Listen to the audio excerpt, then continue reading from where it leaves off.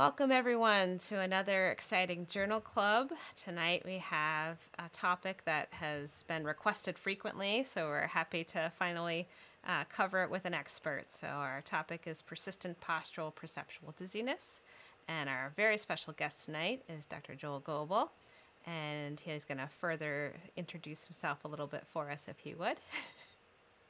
Yeah, hi everybody. So, um, I'm Joe Goebel. I come from uh, Washington University in St. Louis. Um, I did my training there at WashU, taken on faculty 1985.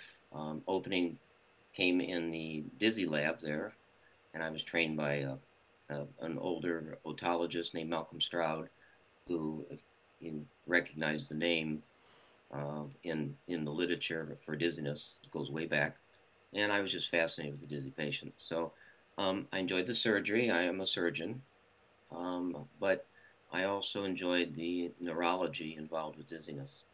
So that's uh, that's been my career, my entire uh, academic life. Um, I retired from clinical practice uh, two years ago in 2020, but I still keep active in research. I'm teaching around the world. Um, I still do lecturing, uh, so I'm doing all the fun stuff that you can do at this time of your career. thanks. Thanks for the invite. Yeah. Oh, it's a pleasure really to have you. And, um, you know, we're going to talk about, uh, again, this topic. It's frequently requested, and I think for good reason because it has some complexity to it. So we're really looking forward to some of your insights. This is the article we specifically selected. Um, you'll see the link on our events page if you need to see that article for yourself as a viewer. And uh, we're going to kind of dig into that article a little bit in a moment. I like to make sure that all of uh, the folks attending, viewing this, are on the same page. So when we talk about the vestibular system, we're talking about a system that involves a peripheral sensor, right? So that kind of little vestibular apparatus that's got some fun canals to it in blue there um, near the ear. I don't have it in quite the right place in this picture. It's just kind of more representative. Hopefully, everyone knows that. I'll show you the next slide in a second uh, where that lives. And then we have connections, of course, nerves that go to the brain and the different parts of the brain that process information from that sensor that's telling us uh, where we are in space, along with our visual information and the information from the joints in our body, right? All that information helps us know if we're upright, leaned over, are we spinning around, what's going on, where are we? Right? So here's the inner ear uh, more detailed. Again, uh, that vestibular apparatus there, kind of deep in what we call the inner ear, along with some hearing structures that are the neighbors. So we need to know about all of this information in order to talk about this topic uh, because these different structures have a role. Um, and in persistent postural perceptual dizziness, uh, I often explain this to my patients as a sort of a learned dizziness. The brain is functioning a bit differently, and we can talk about that more uh, with Dr. Goebel's input as well. Um, that occurs often after a dizziness event. Um, that's a, a, true pathology, we'll call it, meaning a physical issue. BPPV, we've talked about in other uh, journal clubs in the past, these little tiny crystals that live in that vestibular apparatus. They have a job, but sometimes they go to the wrong place. Um, inflammation of the inner ear, things like this. Um, can kind of set off the brain to start to kind of perceive where we are differently, even after, say, those crystals have been put back where they belong. Um, how do you explain 3PD to your patients?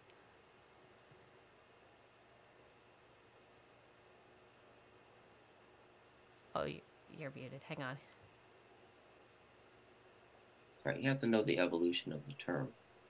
Um, and Jeff Staab from Mayo, the psychiatrist from Mayo, he's he's really at the forefront of trying to come up with this category of chronic dizziness. So chronic dizziness has been diagnosed for centuries, and throughout decades, it's been called numerous things. It's been called phobic postural vertigo by the Germans, visual vertigo uh, by the Brits, um, chronic subjective dizziness by Jeff Staab, so finally, the Barany Society came together with a working group that said, look, we've got all these terms around the world that are talking about people who seem to be chronically dizzy after an acute event is over, and yet they just don't get over it. Mm-hmm. So, so how do we how do we use a terminology that might unify the world to talk about these people. Um, and I, I, need to make a point here. It's not just a vestibular injury that tr- triggers triple PD. Um, it can be a stressful event in mm-hmm. your life. It can be a head injury. It could be post traumatic stress disorder. It could be a, a whole host of things that all of a sudden put the body into what's called a maladaptive state. The body responds to whatever the injury, whatever the insult was, and it goes into this sort of fight or flight mechanism to try to work its way through whatever the insult was. But once the insult is over, body doesn't come out of that. The brain doesn't come out of it. It mm-hmm. maladapts and stays there. And so the initial response of the brain to a vestibular injury to become more visually preferenced and to um, um, be be really sensitive to body tilt, etc. That's normal. But once the injury is over, the brain doesn't revert back to using senses in a correct hierarchy and creating the right motor responses. And, and that then triggers the limbic system, which is the height of our emotions. Um, and it triggers this sensation of chronic dizziness. What's wrong with me? What's wrong with me? Why am I dizzy? What's wrong with me? What's wrong with me? You know, so it becomes almost like uh, Bill Murray's, you know, uh, Groundhog Day. You know, the record keeps playing again and again every morning. What's wrong with me? So we have to be a little bit careful because this is a new category. I wouldn't really call it a disease. Mm. I would call it a, a way of looking at chronic dizziness in a more structured way and to be able to study it. Um, and you'll see, I think you have some slides to show criteria for making triple PD yes. diagnosis. Those are those are Barany Society uh, recommendations that of, you know, don't just use this as a wastebasket. You know, you, you have a you have a way of trying to say, I think you have this maladaptive state, and these are the criteria. Mm-hmm. Um, it also then allows you to turn to a patient and say, I think I know what's happening to you, and I think we have some ways to help you. And that's why the paper that we're studying tonight is really going after a real key issue. And that is not only are we trying to help you once it's happened, but can we, yes, after a vestibular injury, predict who it's going to happen to and stop the train before it leaves the station. I love it. Once the train leaves the station, it's awfully hard to get it back. Right. Right. So that's really, I think that's the most interesting thing. That's what, that's what's really gotten me involved with Aaron Trinidade in the UK and Jeff Staab and John Stone, um, and a whole host, as you can see on the paper. Mm-hmm. See, can we come up with a way to um, use this diagnosis or this category um, and then come up with criteria that would help us look at a patient with an injury and say, you know, I think based upon the way you're reacting early in this disease, I think that we should intervene maybe a little bit more to prevent this chronic dizzy state. Mm-hmm. Whereas some some patients, um, depending upon what their what their personalities are, what their traits are, they may get over it. You know, they get dizzy. You know, had neuritis, they get dizzy. They were dizzy for a few weeks. They go back to work, they're fine. Now, even even even if the neuritis, uh, even if the neuritis attack is severe, and yeah. the injury is severe, even if it's severe, some brains will just adapt. They'll they'll deal with it. They may do some physical rehab like VRT, and then they'll adapt and they'll go on. But some brains don't. So I think that's to me that's the fascinating part of triple PD. Agreed. All right, that was a wonderful explanation. Thank you so much. So you you definitely called it. I do have some slides with the diagnostic criteria.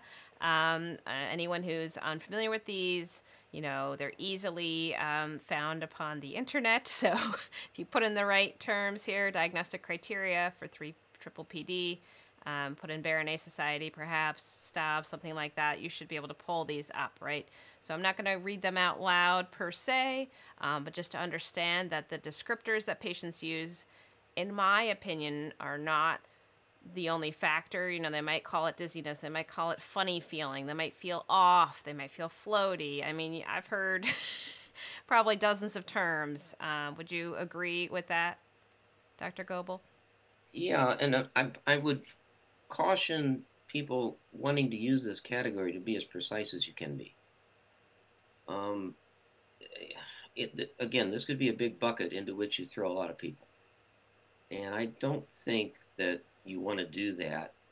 Um, I think you want to probably have the Barany Society criteria in front of you and almost as a checklist. Yeah. And when you see somebody that you think is, you know, going to is morphing or has morphed into chronic dizziness, um, this whole idea of symptoms lasting for hours long periods of time, waxing and waning, uh, they're you know more than half of the days in a month. Very few other dizzy diseases do that. Right. You know, migraine might. Maybe, yeah. Migraine might, but not quite this way. Um, and then if you do you have other criteria that yep, you have coming. yeah. Yeah. You know, so I mean these are these are these are people who are provoked by motion, being mm-hmm. on their mm-hmm. feet, and they don't like their own body motion, and they don't like visual motion. Mm-hmm. Remember, they have developed a hypersensitivity to visual stimuli. They have developed what's called a visual preference, right? Mm-hmm.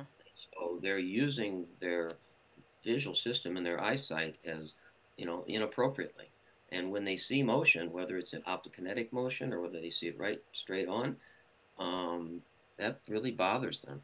So they're they're they're best if they're in simple environments and they're not moving.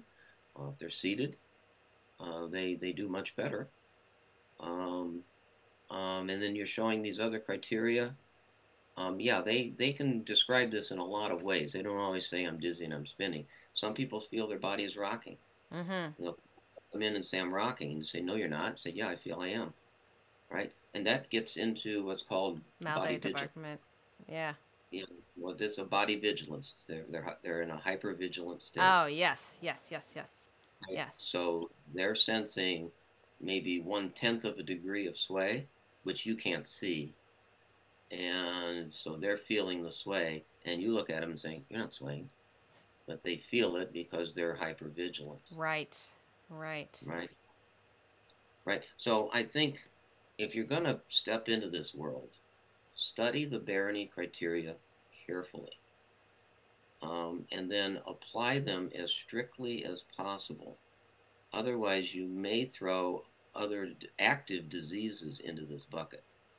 You know, you really wouldn't want to throw somebody with an active fluctu- fluctuating vestibular disorder or an active central nervous system disorder into this maladaptive state called triple PD. So you want to be very careful that you don't miscategorize active disease and throw them into the triple PD state.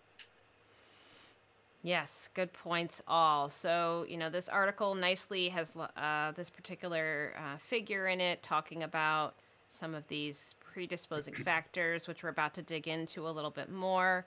Kind of um, this high body vigilance that you just referred to, um, high neuroticism, some other aspects we're going to get to in a second. So, just kind of understanding that this is, you know, kind of um, this combination of factors, right? It's not necessarily uh, again, what I would consider simple compared to like, I know some people find BPPV to be very complex. To me, it's like crystals there where they don't belong. Let's put them back, like the little ball game with the, you know, with the maze. Okay, and then we put them back, and then they feel better. Like that's generally how BPPV can work. So this is not, um, I would say, at, on the simple side. This is kind of few elements to it. So, you know, as far as the research here that we're looking at, the aim of the study was to look at the frequency of anxiety related variables um, and uh, predicting that they would be higher in patients who meet the criteria, which we just discussed for 3PD, and also looking at some illness perceptions. And um, so they looked at these different patients. Most of them happened to be female. and they matched them with some folks who are not 3PD, but they did have vestibular issues in the past, um, and matched them also with uh, non dizzy controls. Um, and I just broke it out here for folks to see.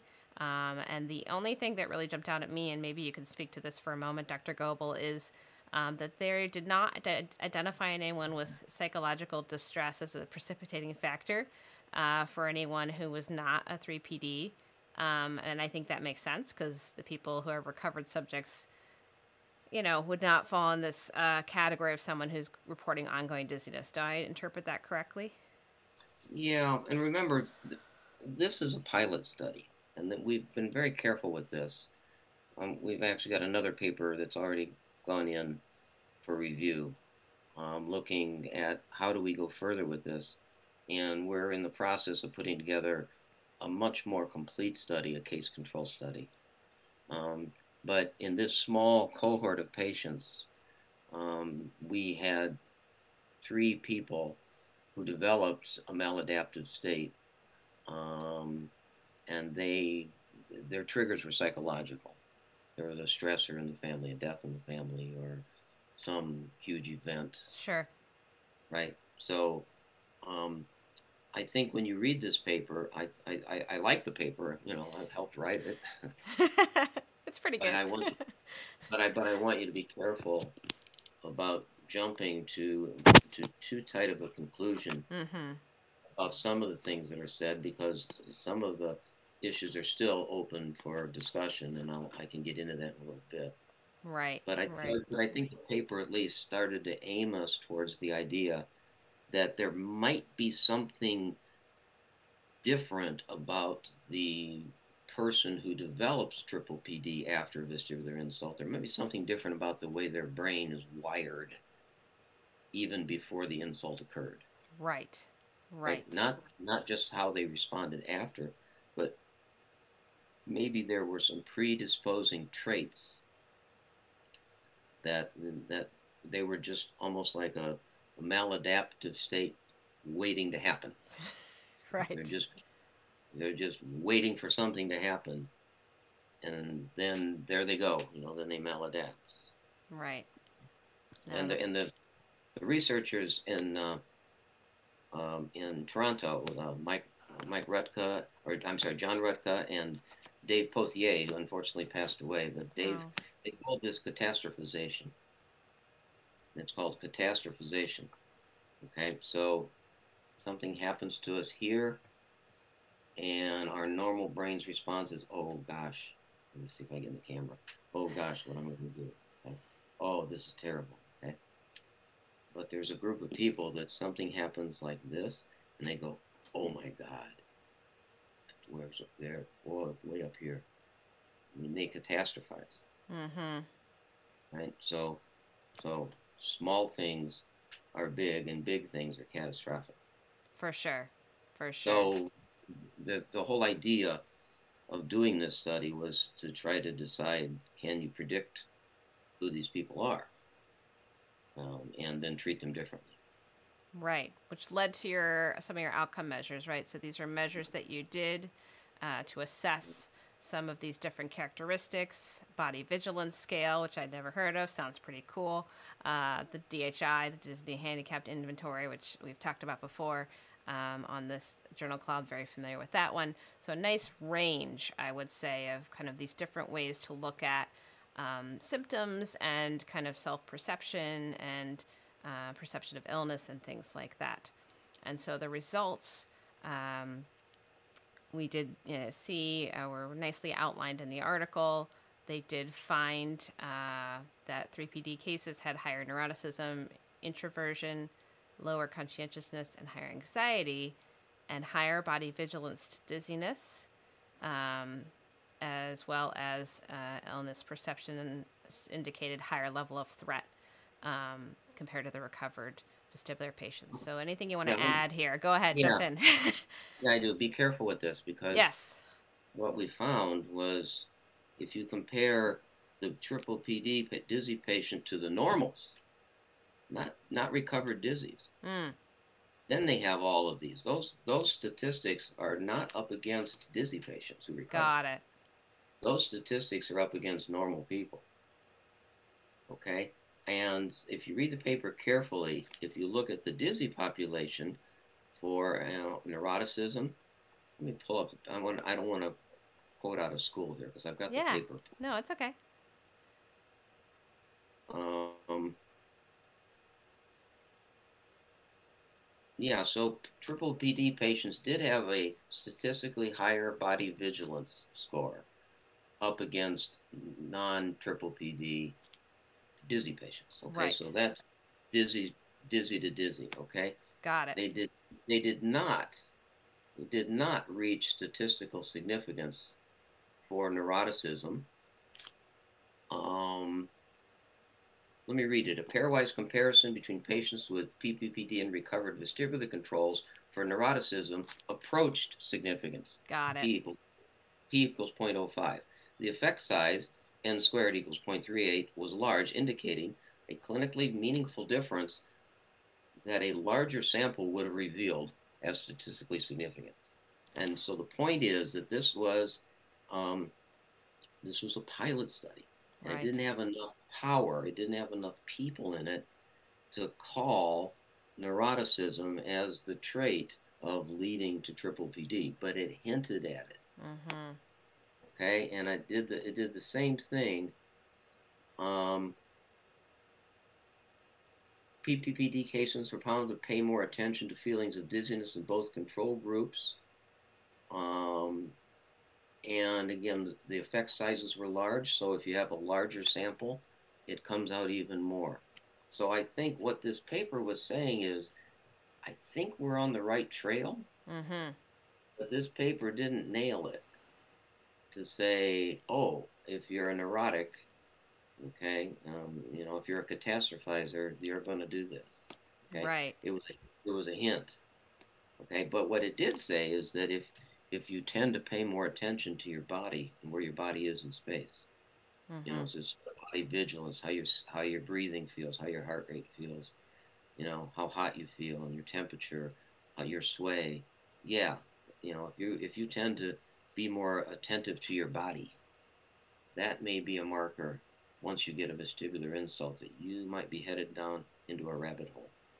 Right, right. So I pulled this, um, which is kind of somewhat summarizing what you're saying in very simple uh, pictorial um, from Holmberg, um, Dr. Janine Holmberg out of Mhm. uh, Utah. She has um, written about 3PD. She's an experienced vestibular clinician um, who has spoken on that topic. And I pulled this from kind of a talk that she had given, um, which kind of is just trying to highlight, I think, what you're saying, which is kind of again making it a little more complex than something like 3 um, bppv here we have this kind of combination of some sort of catastrophic event uh, or not excuse me some sort of triggering event um, they catastrophize it afterwards. Um, so um, you know kind of these different possibly personality traits possibly you know things like this um, kind of body vigilance and or anxiety and or right? So you're kind of you're in the ballpark is what i'm hearing right? So we're kind of getting a sense um, of contributors to um, why you know someone might go into a 3pd state. Do you think that that's kind of picturing that? Yeah, I think it's I think it's fair, and I think when the dust settles and the studies uh, have enough power to them, I think um, certain traits are going to shake out.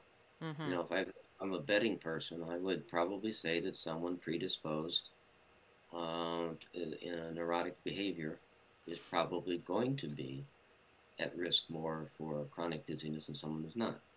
Um, I would probably say I don't know that depression is going to fall out that way. mm, Okay, I'm not certain that depression is on there. I'm not certain that that's that's a that's a touchy one, and Jeff Staab would probably argue about that. mm-hmm Um, Yeah. You got to be careful about because it's it's awfully hard to get good data on personality traits before the injury occurred. right yeah So after the injury occurred, everybody's interested. Well, are you sleeping well? Do you have low mood? Do you worry a lot? Well, hell yes, I do. I feel crappy. That's what I say my patients. You're normal. Anyone would feel horrible. Yeah, I, I, of course I do. I feel awful. right. But that's not what you're looking for. You're not looking for a reactive anxiety or depression, so-called state anxiety. You're looking Mhm. for trait anxiety. You know, do you carry this trait? Okay, so um, I I think I, don't have any problem with these diagrams. You look in our papers and other papers, we all have these. You know, and you know who who which person is going to go from the structural deficit to the psychological distress and finally flip into PPPD? No, well, who goes onto a boat and feels a little sick to their stomach, um, and then you know, but then they adapt to the boat, and then they get off, and for a little while they feel, you know, you close your eyes and you know, you come off of a cruise, you're still a little rocky for a day or two, and it's gone. And who goes into mal de debarquement? Mhm. So the whole concept of mal de debarquement is a maladaptive state. You adapted to sensory input, but then once the sensory inputs reverted back to normal, you didn't revert back to the normal state. You stayed in the maladaptive state. Right? So Right. that's I think that's you know that's the that's the million dollar question. Can you identify traits in a person that is going to predict that they maladapt? hmm And it's a good reminder, you know, when we talk about risk factors, right? A risk factor is not a, a certainty, right? so, you know, yes, if I have X trait or if I, you know, make this particular choice or, you know, if I, you know, I'm in a car accident or whatever, I have X, you know, risk for, you know, whatever injury, but it's not a guarantee. It's just a risk, right? So, you know, that's where I think sometimes I feel like people want A plus B is always going to equal C. and I'm always like, it's a little more like the chalkboard with a few different equations all together. like, right? Right. Well, I think, and I think here's where physical therapists, uh, like yourself and others on this on this webcast, you act almost like they're um, psychologist because you spend an inordinate amount of time with them. Um, whereas perhaps some of their medical team made a very accurate diagnosis, and we talked about this earlier. Mm-hmm.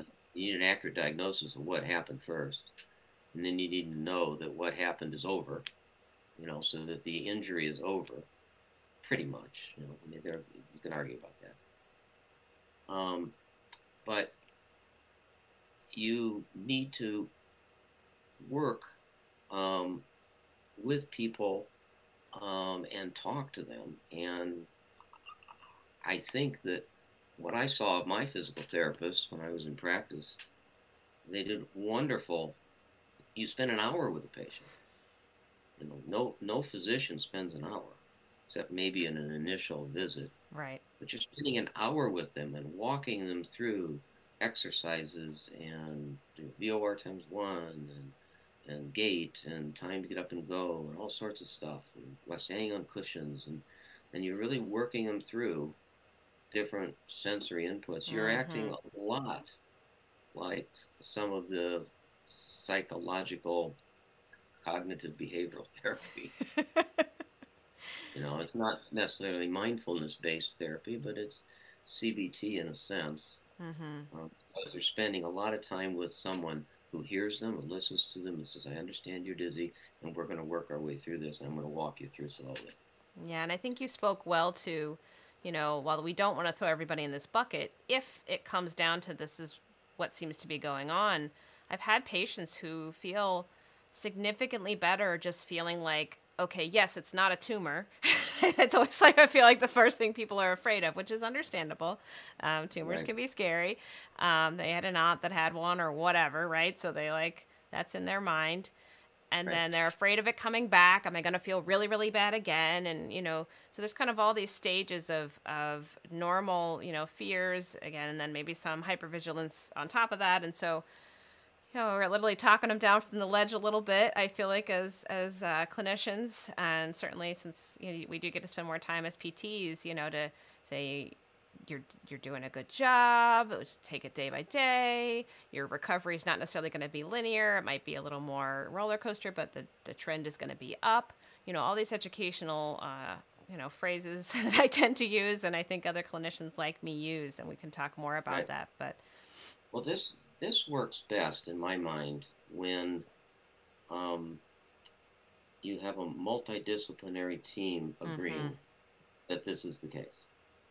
Um, if one of us throws this out at a patient without really Mm. having consensus of the team that you're right, you know, I, I, I, when I saw patients in the center, we had access to neurology, we had access to psychiatry, we had access to physical therapy and audiology and occupational therapy and all. Okay, so once once we decided that this is what was happening, um, if two or three brains looked at this and agreed, I think you've got a pretty good chance that you know patients will feel really good about this. That yeah, wow, you know, this team looked at this and these people say this. If one of us comes up with it, we might be right, you know, but it's not it's not as it's it, it's not perhaps as accurate. Hmm it's not perhaps as useful as it is when the, you can turn to a patient and say, your medical provider says this, your physical therapist says this, your audiologist says this, you know, your caregiver says this, your mother says this, you know, you know that, and then, then the patient says, well, I guess they really thought this out, you right. know, and you know, and I don't, I don't have any problem handing patients triple PD literature and handing it to them, and even the articles that we write, you know, because they can decipher some of this. They they can read through the jargon, Sure. and but you are right. They feel. I think they feel better than just telling them, "Well, I don't know why you're chronically Right. I, I have no clue. You know, I'm just going to give you some exercises, and I hope you get better." But if you can give them a give them a plan, this is this is sort of a plan. Here's our plan. Your your brain is dealing with the senses in an abnormal way. We're going to try to adjust that. We're going to try to get your brain to to to coordinate senses more normal, so Right. that you can move, you can move in your environment and not feel so dizzy. For sure. And I want to address two things you brought up. One is there are PTs, for example, out there that have told me, look, I don't have a clinician in my area that's kind of versed in this. Um, I'm sure you can imagine, you know, certain areas of the country and the world. Um, so, you know, we can talk at the end about resources, but, you know, just understand that you may be the first clinician to kind of say in your head, I think it might be this, and that's okay um you know but like you say it's it's ideal if you can try to find um, a couple clinicians that you know have some ability to you know maybe go through the criteria or educated on that whether it's a neurologist neurotologist. It's less to me about title and more about um, discipline i'll say like a physician of some sort ideally. And then you know maybe um, like you say an audiologist or an ent practice that has done some testing to rule some things out things like that we'll talk about as options I think the first thing is when you when you hang your shingle to do this, um, Landon, when you hang your shingle to do this, the first thing you got to do is look around in your community and build a team right away. Don't wait until your patients start flowing in, and then you've got all sorts of problems and patients, and then you say, "Oh my gosh, where am I going to send them?" If you're gonna if you're gonna step into this arena, then I think you're going to have to look around in your community as as best as possible and that community may be a telehealth community. mm-hmm I made this a point to a couple of PTs that pushed back that said, "Well, I don't have an MD for 200 miles." Yeah, you do. You have telehealth. You know, we have tele. Look at look at us, and you know this is going around the world. You know, so there's there's a really really good way to present a patient by telehealth to a to a colleague, and and say this is what I think, and they say, yeah, I think you're right. Boom. Okay, that's just about as good as if they were sitting in your community. So now with all the technology that we have, I don't think we have any real good excuse anymore to say I can't get help. mm-hmm Just maybe can't get help in the old-fashioned way, but you can get it. You can get it by technology. And you may have to support your patient if they're not you know, in that tech realm, you know, to kind of try to support them through that. I know that there's been a couple patients that I've needed to do that for a little bit, and that's Right. okay. Well, I mean primarily though in the tech realm, meaning that you as the PT develop the Mm-hmm. relationship with the neurologist, you know, 500 miles away, or the, you know, they're at Hopkins, or you know, they're at the coast, or wherever you want to go. You know, develop those relationships, and you'd be surprised that you know, you know, clinicians will be willing to help. Yeah, you You make a know, and good point. and develop these liaisons. So, you know, don't throw your hands up just because well, I don't have anybody in my community and I'm the only one that's going to make diagnose a triple PD. I, I, I think you'll find yourself a bit frustrated because um, it's it's not it's it's not one of those diagnoses or one of those entities that's really tightly defined quite yet. You know, so I think you need some help. You know, you need to use the criteria for Barany carefully, and you need to to talk it over with a colleague on on a team that says, "Am I thinking correctly here?" Oh yeah, that's that's really good thought process, and you know, then you can carry on. with it. Definitely. So I want to kind of touch base a little bit. I have had a few clinicians ask me, uh, "Oh, can we just image a patient and know that they have 3PD?" I hope that everyone understands that if there's criteria, you know that that's our go-to here. And there has been some work done, which I'm sure you're well aware of, um, you know, to try to look at functional, this is kind of an active brain, if you will, in action, um, to see what's happening. Um, and the study by Indovina uh, in 2021 that took a look at that. So this is kind of the kind of explanation that they described in the article about different areas that are, you know, either less active or more active in someone with 3PD. And I like better the kind of interpretation. Um, so we understand that as you described, it seems to be a tendency to reduce the use of vestibular input. So we're favoring that visual input. We're kind of, you know, visually dependent is a term I've heard as well, and not really necessarily being as good at integrating all of our sensory information, right? So this is something as a vestibular clinician um, and if, as a PT, I feel like is one of my jobs. Like you're talking about, just kind of helping them use their sensory systems better. Um, sometimes use that language. Feel your feet. Feel your knees are over your ankles. feel your shoulders are over your hips. You know, Right. you know, breathe through your belly. Those kind of things. It does kind of have some mindfulness element to it. I do not think that's bad. Um, I think it's a good way to try to get the patient to kind of check in with good information and kind of go there first. And then we start to add in the ability to properly use vision and hopefully uh, use vestibular input better. Um, and then that other piece here um, from the brain activity standpoint, they found that same thing you're describing. Um, so that does at least link up uh, that kind of increase in areas showing, you know, kind of maybe some of this hypervigilance or anxiety related mechanisms um, as they connect to the areas of spatial awareness. So do you want to add Right. anything about that study or kind of thoughts on it?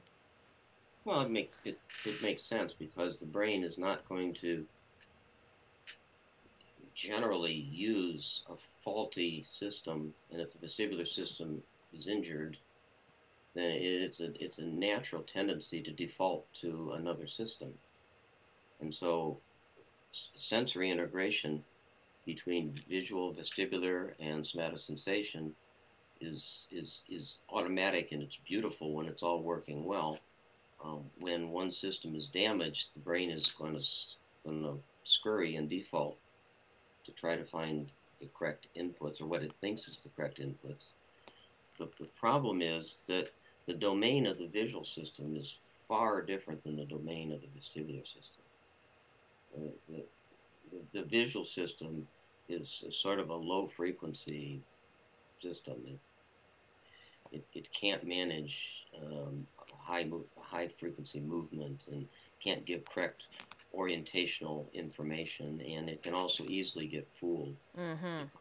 with a damaged vestibular system. The vestibular system is sort of the divining rod in your brain of, of all the other senses. So almost everything, if you can imagine this, the the visual system is compared up against the vestibular system. The somatosensory system is compared up against the vestibular system.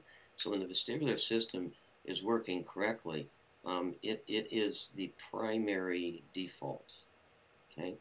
Now, if the vestibular system is off, you know, then in come all these other senses. And it's like, well, this isn't quite right, you know, and so its comparisons are faulty. Okay, so therefore the brain may try to say, well, I'm just going to go with what my vision says, or I'm going to be, I'm going to develop a support surface dependency. Mm-hmm. You know, you, you give me the slightest little bump in my support surface, and I'm down. Right. Okay, you've had patients like that, right? Support surface dependent and visually dependent. Okay, so that, that that that makes sense.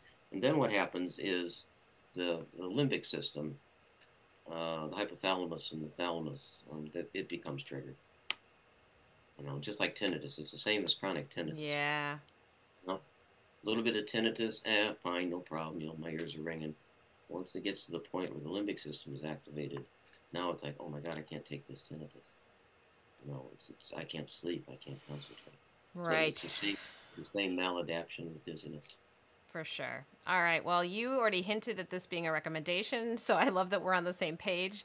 Um, this is again from Janene Holmberg's uh, paper uh, that she presentation she had, and so I kind of pulled that as just a nice way to take the Barany criteria for 3PD and put it in kind of a checklist to help you as a clinician, especially if you're kind of just getting familiar to kind of just kind of again you're not necessarily showing this to the patient. This is just something eh, you know you're going to be looking at and saying okay you know is this fitting? Um, you know kind of the criteria and helping you as you go through your next steps whether that's referral telehealth etc to kind of sort out if it's to the point where a patient might officially get this diagnosis.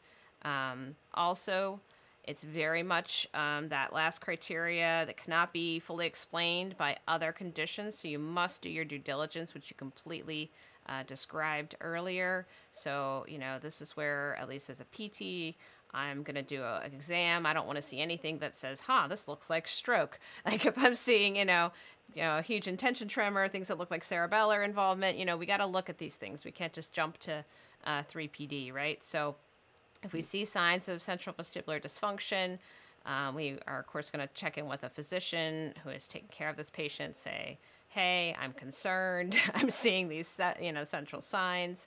Um, and you know they might need some sort of further testing or imaging so it's a conversation to have again a team approach as you described so it's not just kind of any one clinician working in a silo here trying to sort out you know this kind of uh, condition and then um, you know, I, you kind of alluded to how vestibular migraine is kind of what I would call the clo- closest potential mimicker. So you definitely want to check out the Barany vestibular migraine criteria, listening for a history of migraine, and other kind of key factors like um, somebody who has a family history of migraine, things like that. I've had lots of patients who had headache and then they stopped having headaches, but they started having this episodic dizziness. so, you know, kind of just listening for those things. Anything you want to add here? Yeah, so migraine can actually be vestibular migraine can actually be the trigger for triple Right. so you have to try to tease out when did you you know when did you cross over to the dark side? when when did you go from you know episodic vertigo spells with light and sound sensitivity, you know maybe some cephalgia, um, you know, etc. You know, it sounds very much vestibular migraine. When did you morph into this more all day, every day? And so when you get a migraine patient who starts talking to you about, yeah, you know, I've, I've had this every day for the last month. Well, that's a bit unusual for migraine to be that. Mm-hmm. Not that it can't happen, um, but to be that pervasive day in and day out for a month. You know, and and and they may the light sensitivity may not be there. I find photophobia and phonophobia to be absolutely critical. Mm-hmm. You know, especially photophobia. You know, phonophobia can be a lot of things. Can be canal dehiscence. Can be can be Meniere's disease. Uh, can be lots of things.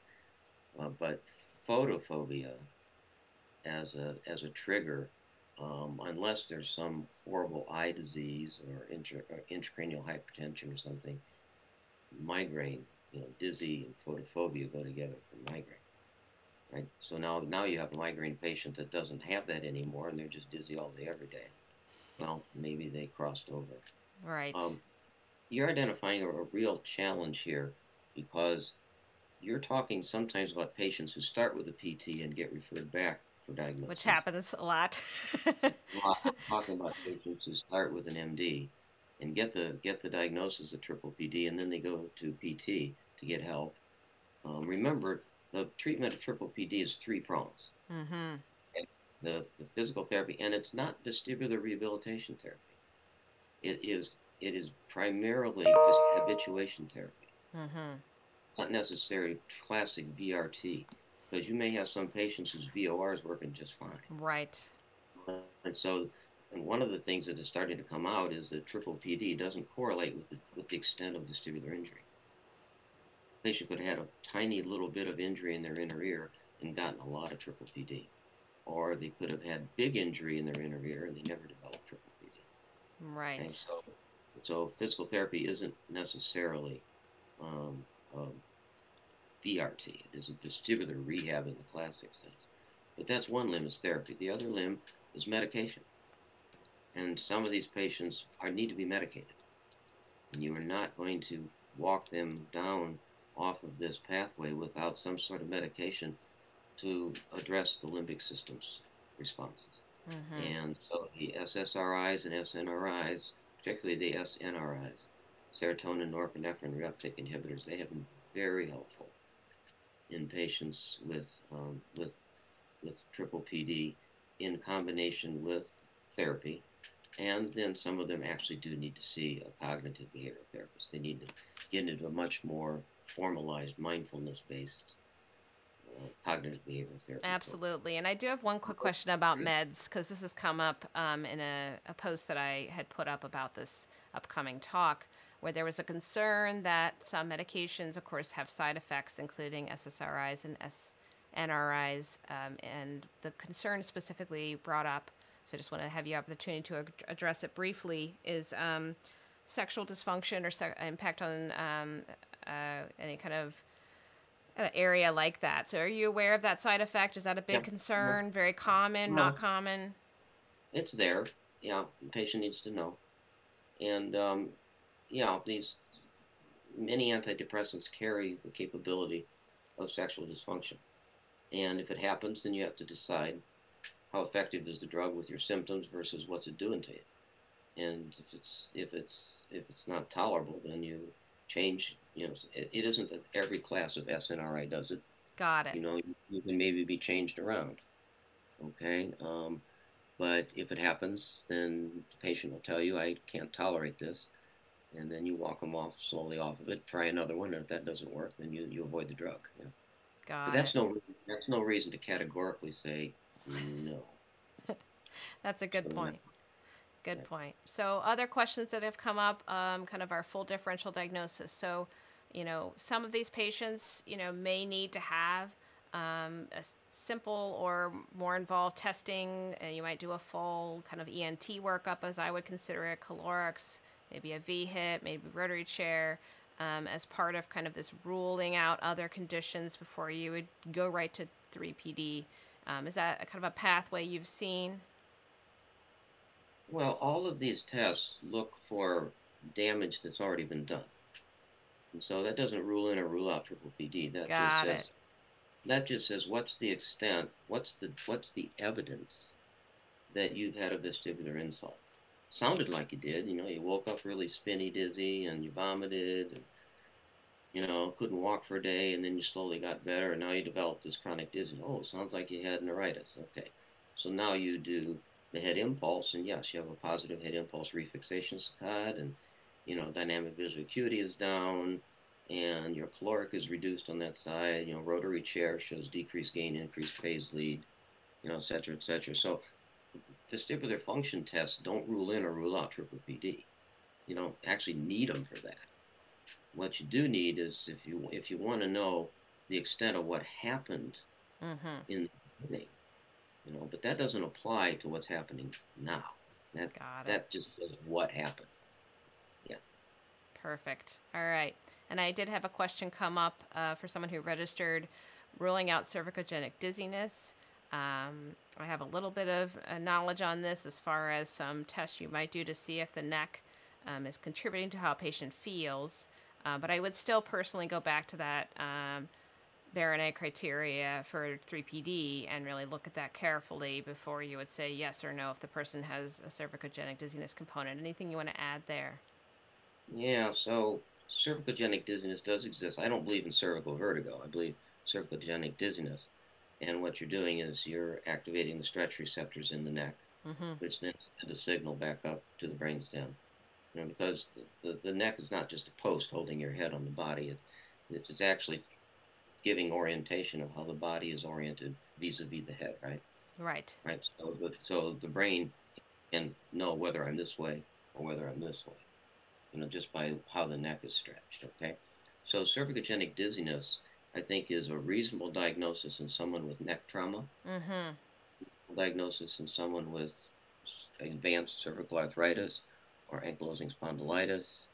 Um, you know, everybody's worried about um, vertebral artery compression. Um, hard to do.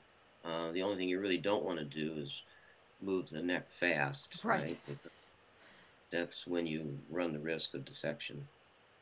So I, I think that cervicogenic dizziness is probably a pretty low contributor Mm-hmm. to triple D. Um, and I, I, if if I ever got patients that I thought the neck was the problem, I gave them a cervical collar, and I gave them a muscle relaxant, and I asked them how they felt in a week. And the ones that I thought were the, that the neck was the problem, they called back and said, "I feel great, doc. As long as the collar's on for two hours a day, take the pressure off my neck." and the muscle relaxant. I took the muscle relaxant. I feel great. Okay. Mm-hmm. You know, so you know, you can get a lot fancier with all the other, uh, you know, neck torsion tests and you know, looking for the cervical ocular reflex and all that jazz. It's probably pretty low contributor to PD. Right. On the flip side, I would say as a PT, most of my patients, regardless of whether they have um, neck discomfort or more um, just kind of have a vestibular issue, they all tend to be pretty guarded. so I do give them, you know, some sort of probably what I'll call neck care, whether that's just gentle ranging or maybe a little gentle stretching if they're not hypermobile. Um, you know, it just depends on the case. But, you know, I still still attend to the neck, but it's not necessarily because I think that's the root issue. You know what I'm saying? Like, um, but just kind of put a plug in for, for the neck needs care because you know it's very no, I no- agree. yeah I no, I agree with that, but it, it, it, this is a chicken or an egg argument. Is the neck causing the dizziness, or is the dizziness causing the neck stiffness? right when you have and when you have a vestibular disorder, you don't want to move your head, mm-hmm. and so you tend to freeze. You tend to freeze your head on your body, and you tend to move as a unit, right not move freely. Right. So you know you, you, you have to tease out: is the neck stiffness the cause of the dizziness, or is the neck stiffness the result of the dizziness? right agreed all right so um, this is a detailed slide um, but what I'll say in summary is that there are lots of other measures that, for example, vestibular PT might use, like a motion sensitivity quotient or the visual vertical analog scale, which looks at are we sensitive to visual input and patterns and things. So, just if you're newer to this area, you know, explore these a little bit. And if you have questions, feel free to reach out to me. Um, and I can point you in the right direction if you need more resources. But just know that there's a lot that we can look at as clinicians to try to sort out kind of what are the symptoms that are really the issue for the patient so we can develop an individualized treatment plan um, to kind of address.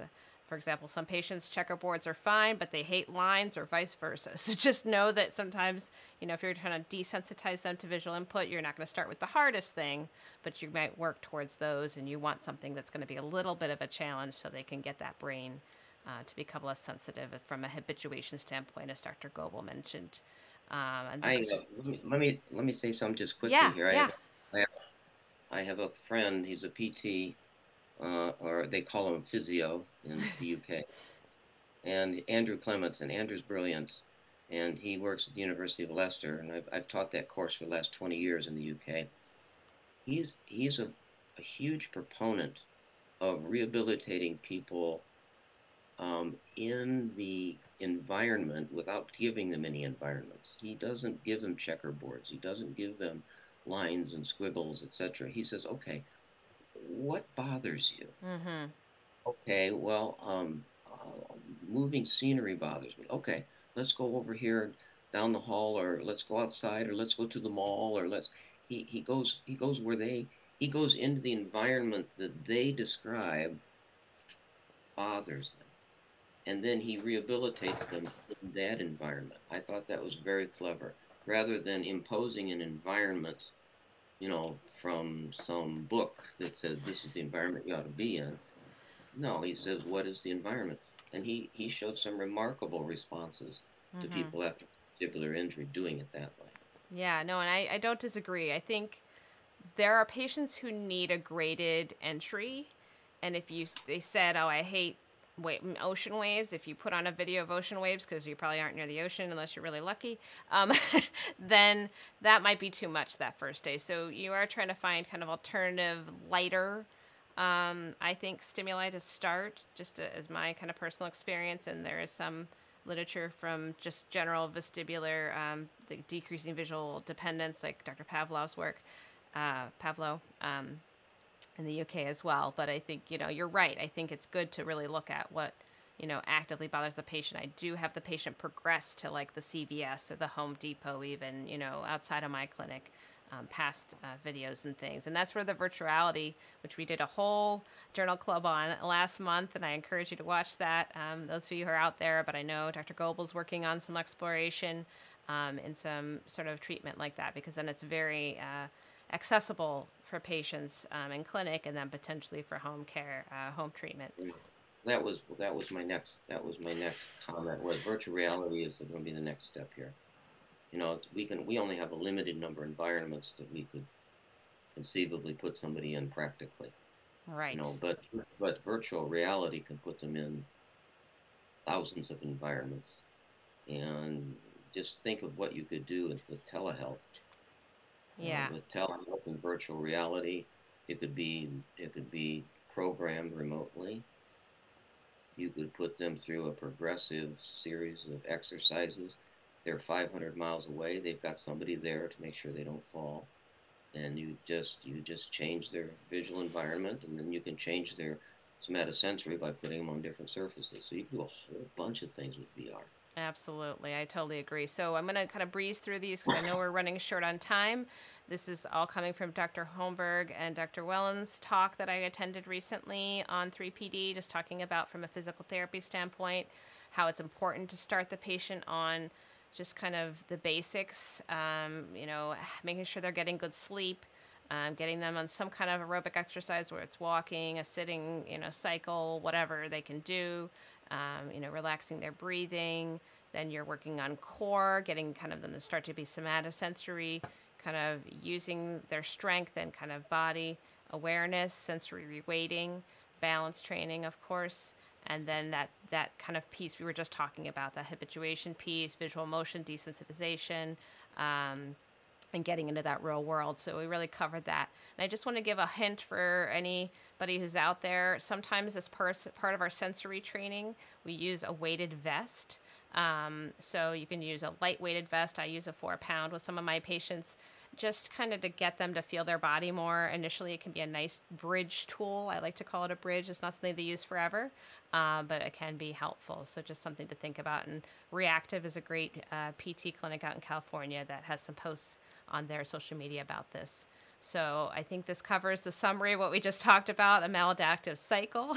um, and the take home message here from the article is that negative illness perception may be a key element. We'll see as we get more research. We're excited about that. Um, and if we can intervene early um, with folks who may be at vulnerable for 3PD, can we even head it off or limit it? Um, to a very light case as opposed to a, a strong chronic case where I have someone coming into me who's had chronic dizziness for 10 plus years. Uh, that can be a lot harder to tackle. So um, here we're just have some resources listed for everybody, um, how you can find Dr. Goebel, um, a nice dizziness pocket card that he and uh, Dr. Z and some other clinicians uh, worked on. Um, and I've got some links here for everybody, so screenshot this if you want so you can explore these later. Um, and we're going to go into our opportunity for questions. So, very good work. All right, looks like we have some questions out the gate here. Uh, Connie Thompson, to clarify, Mal de debarquement patients are more symptomatic when they are still and then they feel that they're rocking. And 3PD patients feel their symptoms more like rocking or what have you with upright posture and active passive movement. Anything else to separate those two? What do you have for us, Dr. Goebel? Say, oh, say it again. I was just reading what was on the Oh, slide. yes. How do you separate Mal de debarquement and 3PD, would you say? Well, good question. You know, Mal de debarquement to me, I need the, the trigger needs to be a motion provoking event. So, I, and I think they probably follow a very common pathway. You know, that the, the brain, instead of being injured, it just adapted to um, an altered environment. You know, you could have the same thing with space if you went up in the spaceship. You know, and you went into microgravity. You know, you you could maybe maladapt, and when you came back to Earth, you couldn't, you know, handle the otolith cues anymore because you adapted to space.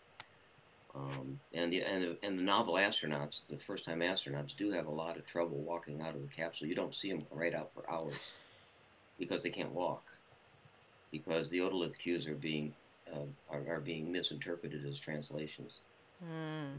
of gravity, so they feel like they're being shoved. Um, so I think the, the short answer is I think Mal de debarquement and triple PD share a common pathway.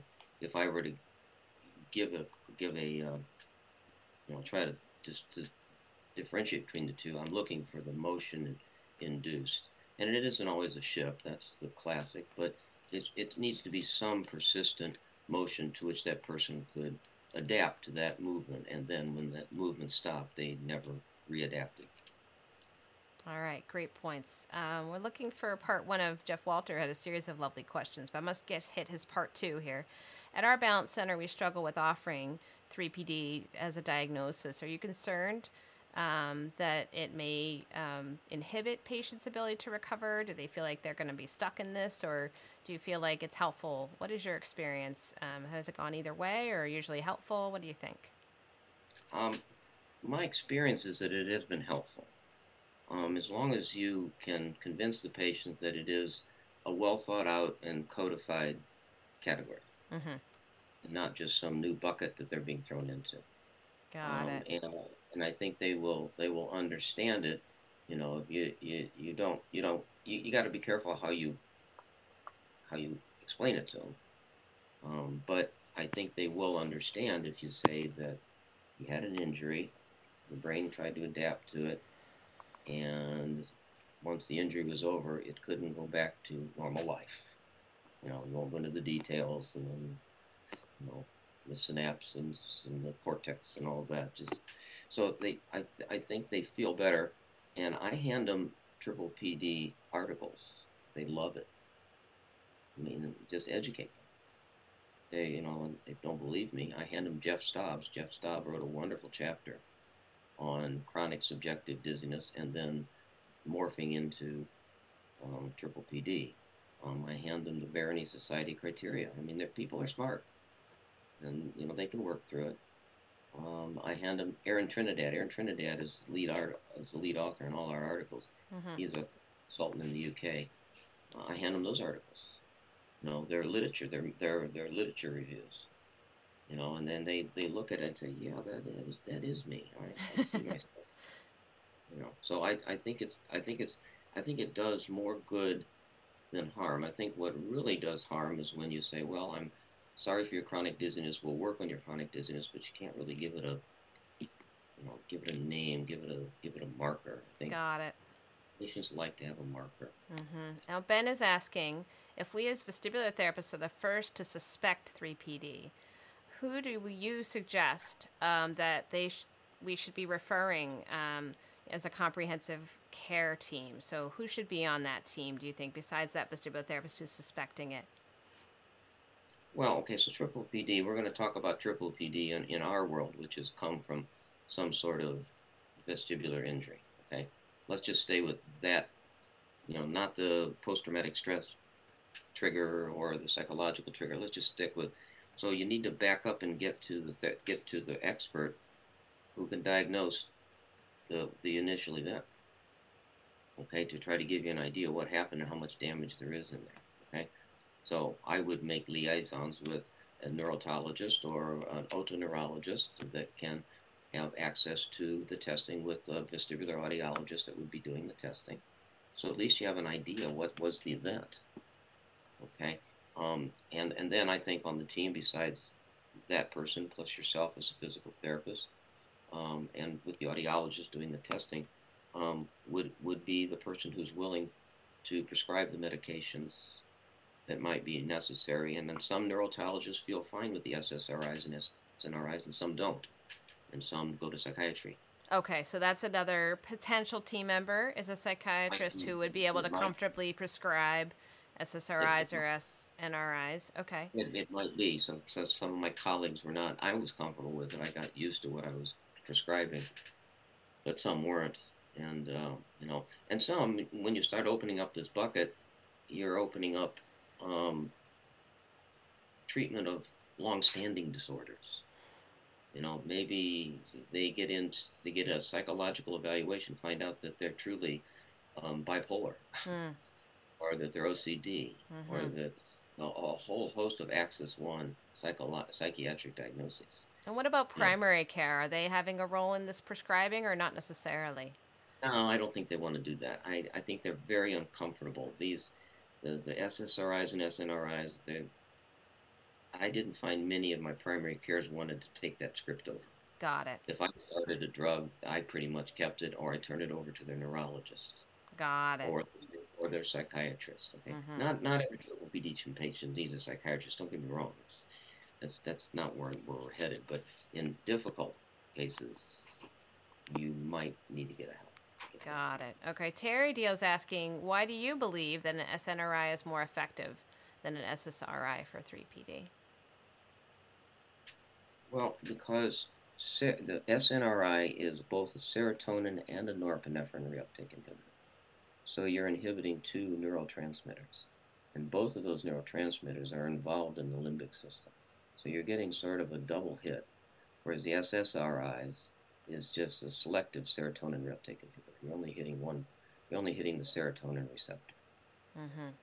So, and if you look at the studies, uh, and I don't want to name drugs here because I don't think that's appropriate, but I think that it's, I, I think it's, I, I think the connoisseur of these drugs is the psychiatrist.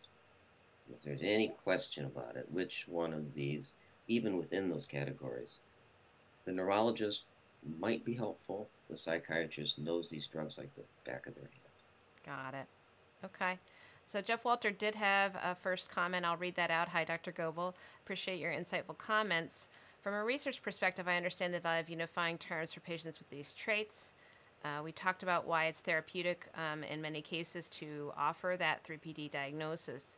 And then there was a third comment that he made uh, where he was asking about the concept that I think I've heard a few other people suggest, which is that sometimes 3PD is the diagnosis of we it's not anything else that we've ruled out, so we do call it this because it meets the criteria, but it's just something maybe else that we don't understand yet. What do you think about that?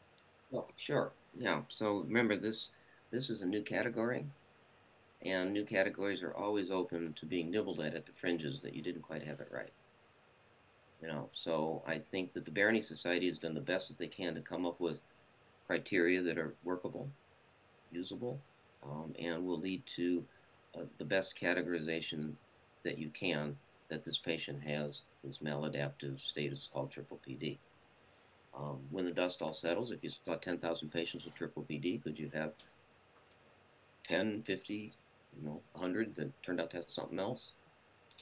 I'm always worried about I was worried about the subtle, ongoing peripheral or central event that you haven't diagnosed. You know, you don't, you would never, you know, I don't want to scare people, but you'd never want to misdiagnose, you know, progressive supranuclear palsy. Right. Right. Or some sort of degenerative neurologic disorder for triple PD. Got to be careful there.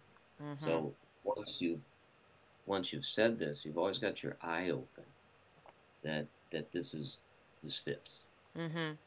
I think if you treated him as triple PD and you gave you gave him the habituation therapy, maybe you gave him an, an SNRI, maybe you did some cognitive therapy, behavior, behavior therapy, and they got better. Mm-hmm.